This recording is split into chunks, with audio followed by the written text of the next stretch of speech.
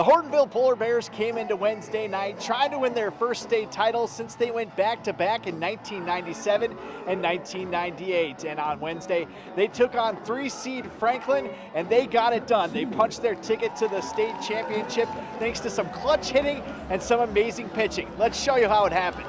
This one started out as an absolute pitcher's duel. Nate Vela on the mound for the Polar Bears, and he was dealing, racking up the Ks on the Sabres.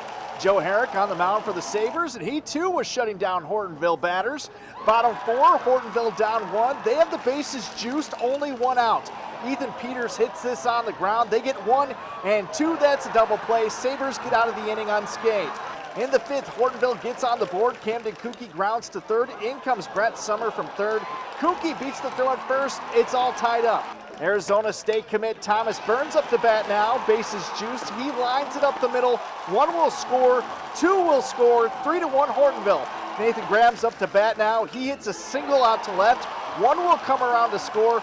Burns will come around third, and he's out at the plate. Four to one Polar Bears after five and Vela closes the door on the Sabres the rest of the way. They win by that 4-1 score. He finishes with a complete game, only giving up two hits and one run while striking out 10. And this win is nice, but as Hortonville told me after the game, the job's not done yet. It feels amazing, but you know the job isn't finished. Uh, my teammates helped me out. I I was getting hit or like that home run. We didn't get down, but all my teammates picked me up. It feels good to get that win there. What does it mean to punch your ticket to the state title game? We haven't done it in how many years? We haven't. We're we're gonna be the first ones to do it in Division One. It feels surreal. I don't know. It's it feels crazy.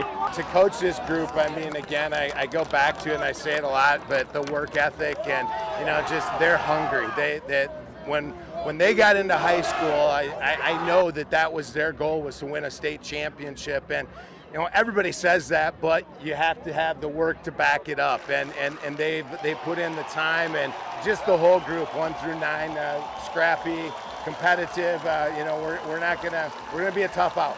Next up the polar bears take on whitefish bay thursday night at 6 p.m